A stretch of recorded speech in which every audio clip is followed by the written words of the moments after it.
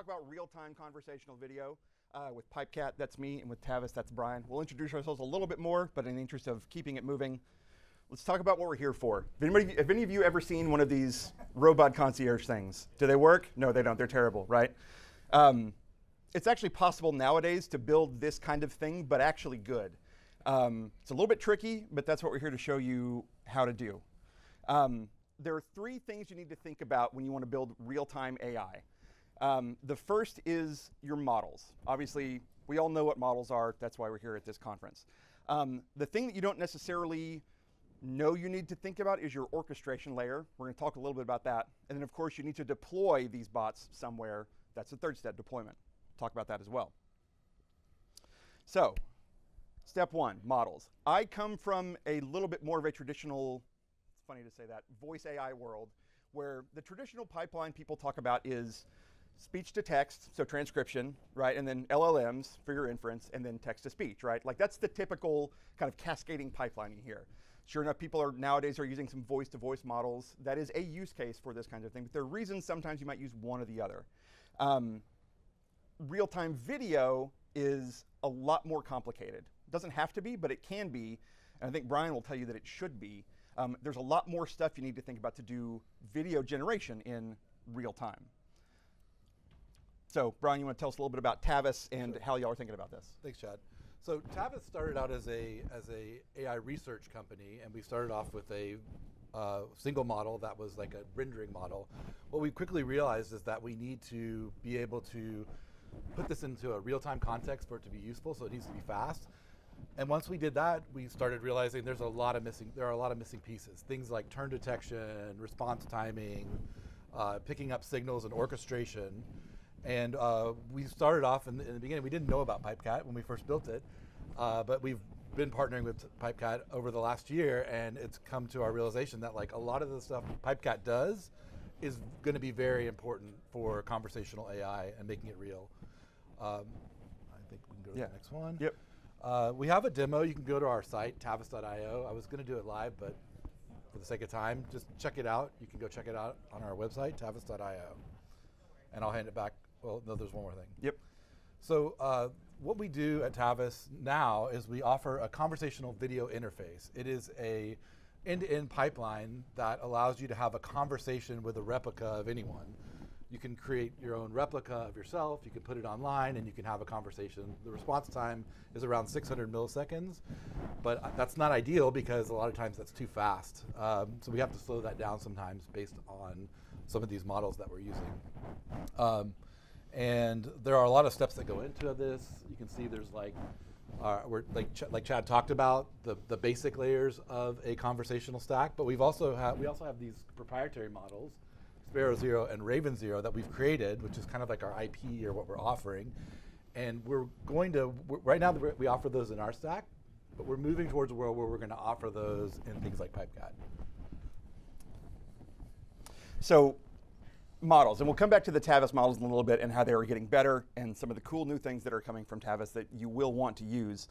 Um, orchestration is where my my world steps in. So that's that's Pipecat. That's the thing on my water bottle and my shirt and my jacket and all that kind of stuff. Um, let's talk a little bit about what Pipecat is. Um, there's a really interesting phrase on Brian's slide: real-time observability and control into the flow of a conversation. Um, that's a th a lot of those are words that you that, that don't really mean anything until you actually go build one of these things.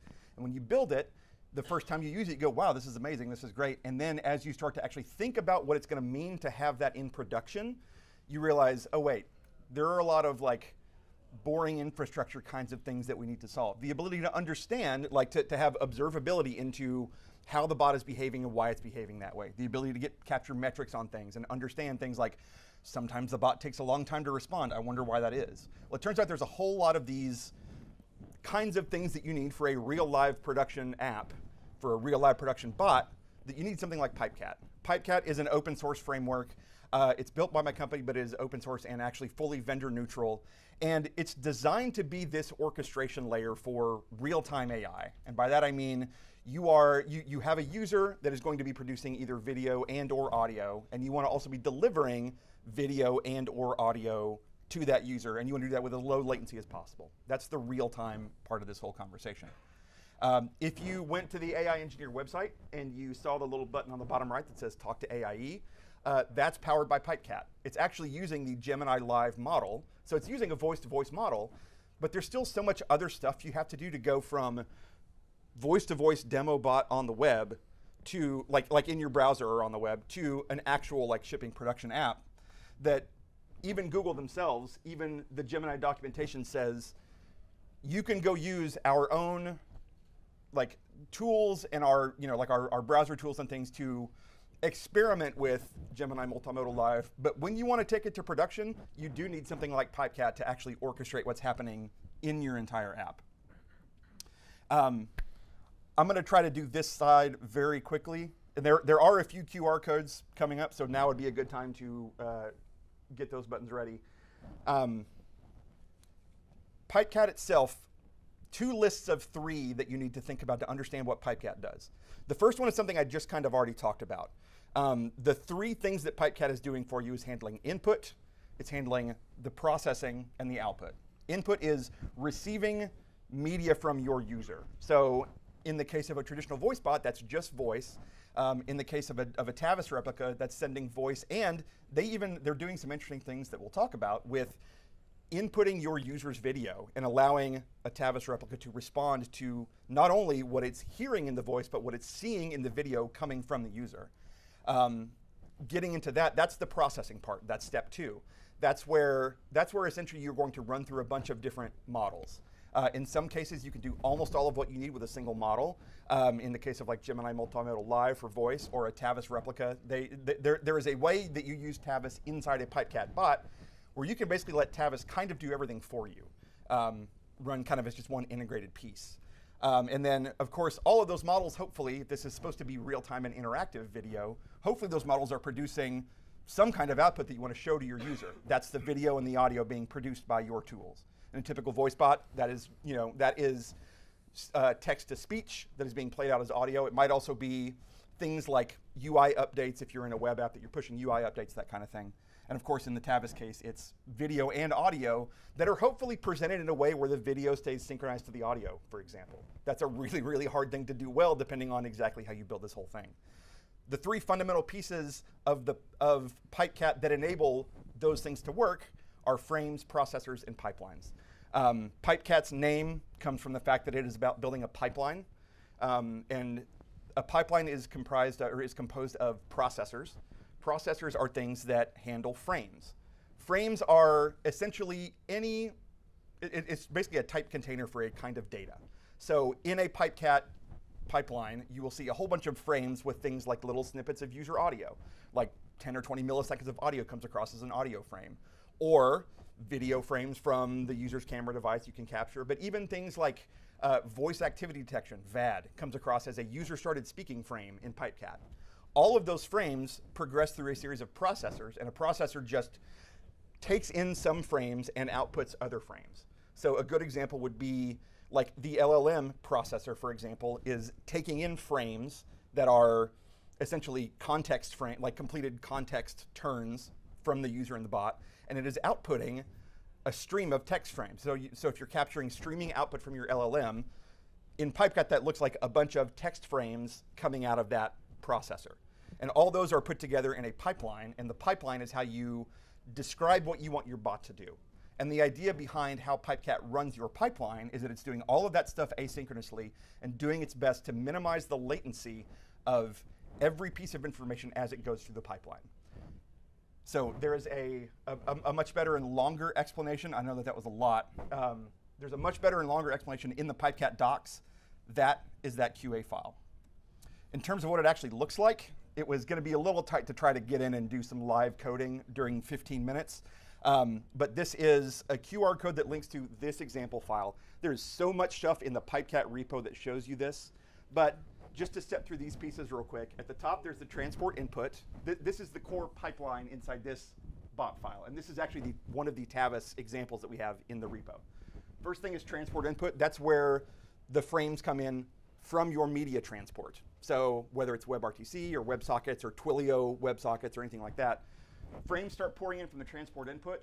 they go to a speech to text processor. Um, that's where transcription is happening. So, for example, one thing that frame processor is doing is it's collecting snippets of audio at you know a frame at a time, 20 milliseconds at a time. But it is sort of up to your transcription processor, whatever that is, DeepGram or Whisper running on something or whatever, to exactly collect a bunch of frames, collect however many frames it needs to then output a snippet of transcription information, right? So that happens in speech to text. From there, we go into something called the context aggregator. That's because the transcription or the, the STT processor is emitting transcriptions whenever it feels like it. So we use other frames in the pipeline that have made their way through to understand, okay, the user has started talking, the user's microphone has, you know, microphone level has dropped, so it looks like the user has stopped talking. Maybe now is a good time to group all of the various pieces of transcription we've gotten over the past few seconds together and emit a single context aggregation frame. That's what triggers the LLM to run. And so we, we, we grab the context, and if you, you know, of course, if you've programmed with the LLMs, you know you get the context with all the array of messages and the tools and everything. You shove that to the LLM, and then it starts streaming tokens back. Those tokens come out of LLM as text frames, as well as there's like a start and end frame. And if, you, if you're familiar with this approach, you can probably see all these other frames as they start to exist in here. But then TTS essentially accumulates those and generates speech. This bot file is actually an older example that uses an older Tavus model where we were actually generating audio and then we were sending the audio over, I believe, a WebSocket. It's not important. We were sending audio to a Tavus model that was generating the video based on the audio and then sending back to us, back to PipeCat, audio and video. So essentially the same audio, but synchronized with the video. Those come as a different series of frames that then go out the transport output. And that is, again, essentially the same transport that we're using on the import side, input side, but this is the output side. And so that's where all that media goes back to the other user. So you can, you can start to see how with this structure, um, it looks very simple right here, but it is incredibly powerful when you realize that you can kind of put anything you want in this pipeline. Uh, we have people, for example, that like there's a construct in PipeCat called parallel pipelines. And so we have people that have this exact same workflow, but at the same time, in real time, they're running another LLM that is doing things like um, you know, sentiment analysis. Or we have, there, there's, there's one uh, PipeCat user I talked to that is using Gemini Live multimodal to detect if the person answering the phone is a person or if it's a voicemail greeting, but they have a separate, they have separate pipelines running for whether it's a voicemail or whether it's a human, and all that happens in PipeCat through the use of a parallel pipeline. Run one model to determine, and then it sends a signal to the, back to the pipeline to say, do the voicemail branch or do the human branch. So you can start to get, a, get an idea of what you can build, even if you have a model like Tavus that is doing 90% of the hard work of making the actual interaction feel good. There's just enough other stuff that's going to happen around the periphery that it just makes a lot of sense to wrap what you're doing inside something like PipeCat. This is what, so Brian showed a picture. This is that same Tavus avatar. Um, if you go to the QR code on the last slide, um, which is going to come up again in a second. Um, you can basically run that example, like you need to sign up for Tavus, you get a key, you drop a key in there, you run that example code unmodified, and it will pop up this UI where you can both talk to that avatar in real time, talk to the replica in real time, but also you can see some of like the interesting guts of what's happening inside PipeCat in that debug panel over there. Do you want to tell us a little bit about why this architecture is interesting and what we can do in the near future with it. Yeah, so as I mentioned, when we first built Tavus's conversational video, video interface, we built it ourselves because we didn't know about PipeCat. So we've spent the last year learning a lot of the lessons that PipeCat has already solved. There are a ton of orchestration, aggregation, communication, functionalities that are in PipeCat already that are going to basically save you months of time. I mean, it's going to save you a lot of time. So um, when we first talked about having this talk, I was like, we're not using PipeCat internally. I was like, I, I can't really say we're using it internally, but the thing is, our customers that have come to us that are enterprise customers, they're using PipeCat. And they want to be able to use our stuff in PipeCat. So now we're, we're getting ready to move our best models into PipeCat. We've already moved uh, Phoenix, which is our rendering model, but we're also going to be moving turn taking, response timing, perception models, things like that. And eventually, we're going to mate up and actually bring PipeCat internally as well because it I spent like the last couple days actually de debugging a problem that PipeCat's already solved really well, and I don't want to have to do that anymore. Uh, yeah, so I talked about these models that are coming. So we, we, we have a couple different uh, unique models. Our turn detection model is a multilingual model that determines when a person is done speaking. You wouldn't believe how important that is in a conversational AI. It's going to make your AI faster, and it's going to make it so it doesn't interrupt people simultaneously. If you, if you have a very fast uh, a, uh, conversational pipeline, oftentimes it will actually talk over the, the user. But, and if you have a slow one, it will take so long to respond that people will be like, is it broken? You want to get the best of both worlds, and that's what turn detection does. We're also working on a response timing uh, model right now. And that response timing, we're, we're bringing all these to PipeCat soon. That response timing model will determine how quickly it should respond even though the person's done. Because if I'm telling you about my, my, my grandmother who's like going into, a, into, a, into a home and she's sad, you're not going to want to like quickly respond to that. You, you want to think and take your time, right? But if we're having a chit chat, you want to be fast. So that's what that's all about. And then finally, our multimodal perception is able to look at emotions, look at the surroundings, what the person's wearing, and also we will be feeding that into the turn taking and the response timing so that we're, we're able to provide much more nuanced conversational flow. So those things are coming to pipe. And so, and so this is another example. Um, I will tear through the last of these because we're we are already out of time, and that's my fault. This is another example showing essentially a different way that you can integrate Tavus into PipeCat. And this is part of the flexibility. As they develop new models, there are going to be things that will run directly inside Tavus. There are things that you want to have a little bit of control, and so you just drop them into, into a slightly differently shaped pipeline, and you can get your bot to actually do what you want to do. Um, I will talk about step three, which is deployment extremely quickly.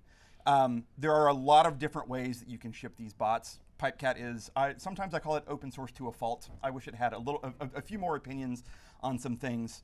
Um, really what you need is kind of two pieces. You need some kind of REST API to essentially, to allow your app, whatever your client app is, you need some kind of basic REST API to tell your app that, that a user wants to talk to a bot.